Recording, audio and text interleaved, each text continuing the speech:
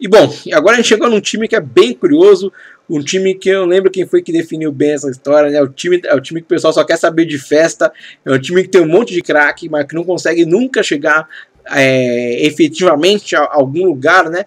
Vamos para a equipe do Tottenham. Vou começar com o jogo Vitor Torres e Doi, o craque, um jogador que faz muito gols. Um, foi contratado no meio da temporada, né? Começou com o Benfica, e aí da Benfica foram 22 jogos, 15 gols na primeira metade do, do da temporada, 3 assistências, 3 vezes melhor em campo, média 7,45. Na época tinham sido 4 jogos, 2 gols com a seleção brasileira, uma assistência, média 7,45. Tinha jogado os primeiros 6 jogos da, da fase de classificação da Liga dos Campeões, fez 2 gols, média 6,95. Aí o Tottenham foi lá, pagou 171 milhões, tirou o jogador do time, ele veio para o Tottenham, jogou 16 jogos, fez 5 gols, 2 assistências, média 6,89. 6 jogos, 2 gols com a seleção brasileira, uma assistência, média de 7,23. Né, com a equipe do Tottenham, né, que nessa temporada terminou em sexto, vai pelo menos entrar na Liga Europa, né? Finalmente o time consegue alcançar alguma coisa, né? Porque estava difícil, né? Teve, gastou muito dinheiro e não teve praticamente nenhum retorno, né? Eu posso dizer que o retorno foi zero, né? Eu lembro que eles contrataram o Caemelo, o manager Muma, e até agora o retorno deles foi em zero, porque não tinham conseguido nem disputar a competição europeia. Bom, foi o melhor jogador do mês de novembro, quando estava no Benfica. Uh, contratado por 171 milhões, valor podendo chegar a 230 milhões. É o grande jogador agora do time atualmente. Considera o Kaique Diogo né, um bom jogador. Companheiro inscrito aí que também está na equipe. Assinou por 4 anos para ganhar 5 milhões e 847 mil reais por mês. Jogador-chave, 6% total de salários. 200 milhões é o valor base estabelecido. O Tottenham mostra ser uma equipe que tem muito dinheiro, porque está gastando muita grana seu time, esse é um time que pode dar certo, cara. Só precisa, sei lá, do técnico certo, das coisas darem certo, porque eu não tô entendendo como é que o time não conseguiu ir para frente ainda, né? Com tanto investimento. Vamos lá, o próximo é o Kaique Diogo, jogador que também chegou. Aliás, olha só isso, gente. O Tottenham tirou dois jogadores do Benfica. Direto, assim, ó, no meio do ano, veio lá, pumba, fez um pacotão, pagou mais 200 e poucos milhões, 260 milhões de reais em dois jogadores até agora, né? Kaique Diogo e João Vitor Torres e dois. O Kaique Diogo, na sua primeira temporada, tinha jogado 22 jogos, fez 3 gols, 2 assistências, média de 6,87, 5 jogos com a seleção brasileira, uma assistência média de 6,74, 6 jogos, na, é, jogou todos os jogos da primeira fase né, da Liga dos Campeões, média de 6,92. Aí o Tottenham foi lá, pagou é, 136 milhões, você jogou 18 jogos, fez 3 gols, 2 assistências, uma vez melhor em campo, uma vez expulso, média de 6,92. Então, bem interessante, duas contratações. Essa contratação foi por 136 milhões, podendo chegar a 171. E o Benfica e o Tottenham se reforçando aí com jogadores do Benfica. Considero o João Vitor Torres e Doido também um bom jogador. Ou seja, os dois né, que eram companheiros de equipe foram para a mesma equipe, então acabam que um se relaciona muito bem com o outro. Eles têm mais 4 anos de contrato, jogador-chave 5 milhões 844 mil reais por mês, que representa 6% total de salários. 196 milhões de reais é o valor base para isso de conversa. Então, dois jogadores que chegaram aí para jogar, chegaram para ajudar a equipe do Tottenham, que já conta também com Robert Santos. Tá aqui o nosso querido Robert, que também já está aí no seu segundo ano com o Tottenham. Na verdade, está bastante tempo no Tottenham, minto. A sua segunda temporada jogando né, na equipe do Tottenham. Foram 33 jogos, 10 gols, 3 assistências, uma vez melhor em campo, média 6,93. Foi bem. Entrou em um jogo com a seleção da Bélgica, mas não teve nota. Dentre os feitos aqui, é, não teve nada nesse ano, teve só no, no ano anterior. Considero o Harry Kane, ainda tá, o Harry Kane ainda tá no time, hein, um bom jogador. E o João Vitor Torres do é o titular, o Harry Kane projeto é o reserva do time. Tem mais 3 anos de contrato, jogador de rotação, 1 milhão 219 mil reais por mês. 1% do total de salários. Um, vale 91 milhões de reais, é valor base para o camisa 6 do Tottenham, Robert Santos. E tem também, eles contam com o melhor jogador asiático da temporada da, da, do, do, ano, do ano que passou, né, do ano anterior, Pedro Marques. Também ó, é, foi também um jogador que chegou nessa primeira temporada com o Tottenham, vendo do Leverkusen. Jogou 41 jogos nessa temporada, fez 7 gols, 3 assistências, uma vez melhor em campo, médio 6,98. Com a seleção japonesa foram 13 jogos, 2 gols, 4 assistências, uma vez melhor em campo e uma vez expulso, médio 7,36. Uh, o que, que, a gente tem aqui? Tem o um prêmio de melhor jogador do, do asiático do ano. Uh, e mais, mais nenhum outro outro destaque. Só que a sua contratação é 262, podendo chegar a 373 milhões, dependendo de, de metas assim alcançadas. Realmente impressionante. Aí realmente o jogador que é, o Tottenham fez investimento, e eu vou dizer, foi muito bom, porque afinal de contas é o melhor jogador que tem na Ásia atualmente. Considero o Kaique Diogo um bom jogador. Tem mais 4 anos de contrato, jogador-chave do time, 6% total do salário, 6 milhões e 104 mil reais é o valor, é o salário. E uh, 203 milhões é o valor base para início de conversa do nosso querido Pedro Max, o quarto e último jogador do Tottenham. E agora vamos para o Léo, Léo Fesk, jogador aí do Vitesse, né? O, o, terceiro jogador que ainda é 100% fiel a uma equipe, o Vitesse, que acho que era uma equipe que estava sempre brigando pelo título, né? Do campeonato holandês. Então, jogou 57 jogos na última temporada, foram 17 gols, 4 assistências, 10 vezes melhor em campo, média 7,49. Realmente o Léo é impressionante como ele está continuando no Vitesse, né? Porque é, com esses números aí dá para conseguir tranquilamente alguma equipe apresentar uma proposta. Não seria absolutamente nada de anormal. Oito jogos com a seleção uh, americana, dois gols, uma assistência, uma vez no em campo, médio 7,41. Jogou 15 jogos na campanha continental do Vitesse, fez 7 gols, duas assistências, quatro vezes no em campo, médio 7,49. Vamos dar uma olhada e ver essa campanha aí do nosso querido Vitesse. O time começou na Liga dos Campeões na, no playoff, mas acabou sendo eliminado. Perdeu de 3 a 0 o primeiro jogo para o Galatasaray, depois empatou em 2 a 2 E aí o time foi para os playoffs da Liga Europa. Pegou o Bromby, Bromby perdão, da Suécia, venceu por 2 a 1 o primeiro jogo, depois venceu o segundo jogo por 3 a 0 O Léo Fess que estava aqui jogando. Estou no grupo H, com o Liverpool, Nice e o Chaves. Passou bem no grupo, hein? Primeiro turno foi muito bem, segundo turno foi ruim, foi péssimo o segundo turno.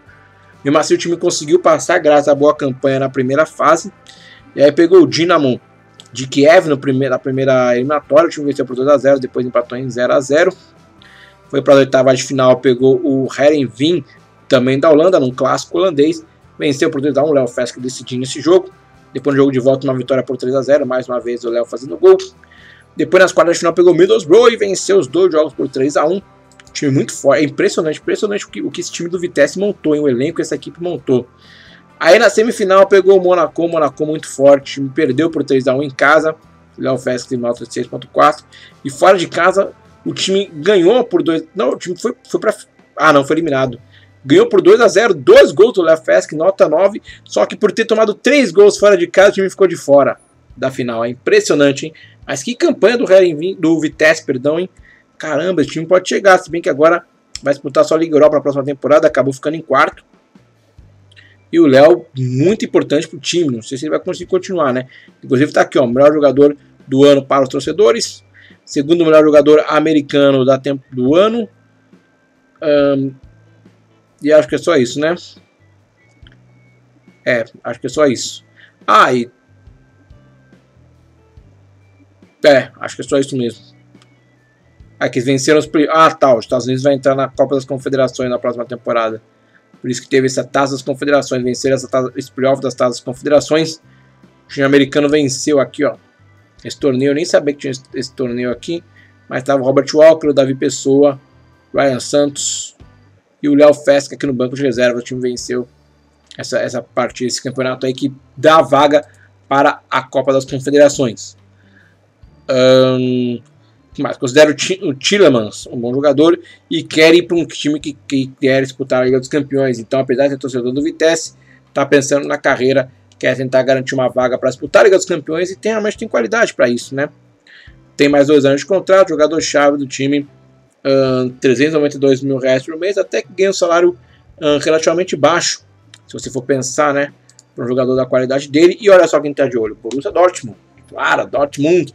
Aí o time time alemão está de olho no Léo Fest, que seria uma ótima contratação, 81 milhões é o valor base. Vamos ver o que vai acontecer na próxima temporada aí com o nosso querido Léo. Uh, certo, vamos seguir. Próximo agora é o Lucas Amorim, jogador do West Ham, está no seu segundo ano né, na equipe inglesa, vindo da Ponte Preta.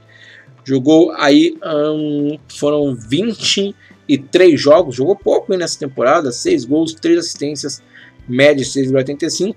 10 jogos na seleção chilena, duas assistências médias de 6.8. Jogou muito pouco nessa temporada o Lucas Amorim, na minha opinião. Hum, nenhuma informação aqui para a gente passar. Considero o Jason Vargas um bom jogador. Ah, nenhuma outra informação. Tem mais dois anos de contrato. Jogador de plantel principal. 2% total de salários. 987 mil reais por mês é o salário. 60 milhões de reais da valor base. Para início de conversa do Lucas Amorim, jogador do West Ham. E agora a gente vai para o Thiago Reis Alves, jogador do Wolfsburg, da Alemanha, recém-contratado, né, vindo do, do Stuttgart.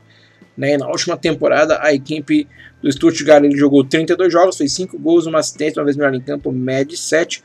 Com a seleção japonesa foram 5 jogos, 2 assistências, média 7,28. Um, veio de graça, né? Veio sem custo, né? Porque acabou o contrato dele do Stuttgart, ele não quis renovar com a equipe alemã. Uh, nenhuma outra informação aqui. Depois, o que aconteceu? Está feliz por ter assinado com o Wolfsburg. Uh, nenhuma outra informação aqui. Vamos ver o seu contrato que ele assinou. Assinou por 5 anos para receber 1 milhão 452 mil reais por mês. É jogador-chave do time, 5% total de salários. 119 milhões é o valor base para início de conversa aí do, do Thiago Reis, né, o novo jogador aí da equipe do Wolfsburg da Alemanha. A gente vai ficar, vai ficar sabendo depois como é que vai ser aí essa atuação aí do nosso querido um, Thiago. E por fim a gente tem o Felipe Cunha, jogador panamenho que joga no Cholos Tijuana.